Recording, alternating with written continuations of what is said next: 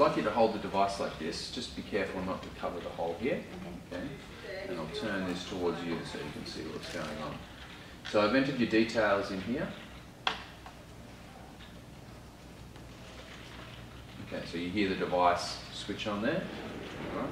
So what I want you to do for me is breathe all the air out of your lungs. So when the, all the air is out of your lungs, your diaphragm's at its strongest, and then I want you to inspire or inhale hard, fast, and complete. And it might sound a little bit like this. Okay, so I want you to work really hard for me. Okay, we're going to try and get three consistent results. Okay, so just try the first one for me, breathing all the way out making sure you're nice and relaxed.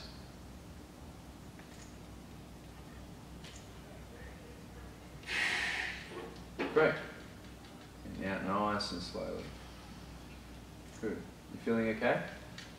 Alright. So that was a good effort. See, we have a nice steep curve here.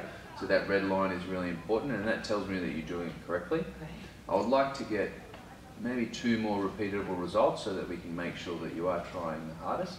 Um, so our number there is 52.95 or 52 centimetres of water pressure. It tells me how strong your diaphragm is working. Okay. So I'd like you to do it again for me.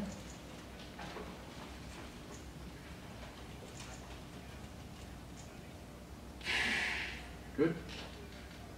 Perfect. And one more. Good, making sure you get all that air out of your lungs, relaxing your shoulders.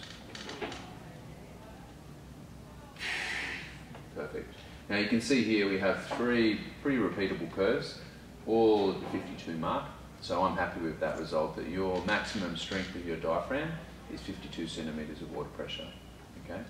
So what we're going to do now is move into the training phase and we're going to do 30 breaths and this is similar to what we're going to be doing at home.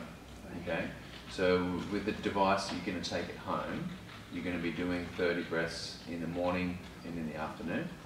Um, you don't have to do all 30 at once. You can do 10, 10, 10 or 15 and 15. If you start feeling short of breath or dizzy or anything even now, let me know and we just stop the, stop the test and stop the training. Okay? okay. And at home as well, if a similar condition arises, then just stop training. Um, and you're obviously doing the testing sitting down, so you should be fine. Okay? So I'll save all that data and I'll move into the training phase. Pushing play. Great. So the same